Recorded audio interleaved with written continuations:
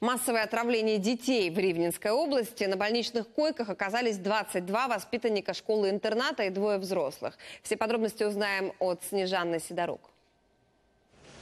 Первые воспитанники Мизотской школы-интерната попали в инфекционное отделение районной больницы еще 19 сентября. Через несколько дней госпитализированных было уже 10. В больницу доставили и двух работников учреждения – воспитателя и повара.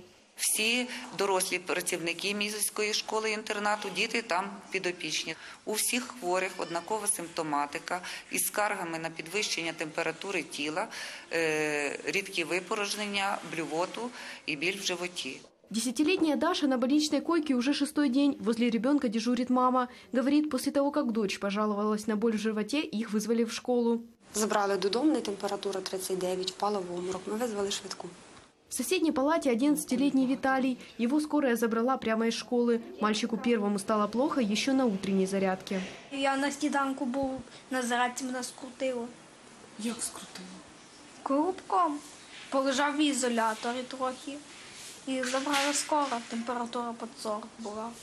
Учебное заведение сразу же закрыли. Всех воспитанников, а их более 200, отправили домой. Призупинили навчання, викликали, повідомили батьків. Діти були розібрані, все продезінфіковано. Карантину немає ніякого. У нас заклад для дітей з особливими освітніми потребами. Причиной отравления воспитанников и учителей Мизотской школы-интерната стала сальмонелла. Это уже подтвердили лабораторно. Пока делали анализы, количество заболевших возросло в два раза. Цей збудник ми виявили у, е, від хворих. е, В готовій ну, в сировині, це м'ясо сире охолоджене, а також на е, поверхнях, робочих поверхнях е, у харчоблоці.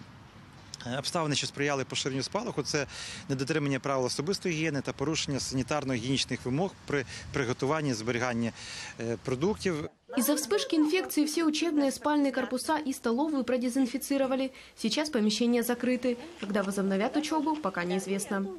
Снежана Сидорук, Лариса Зубенко. Подробности. Телеканал Интер. Ривненская область.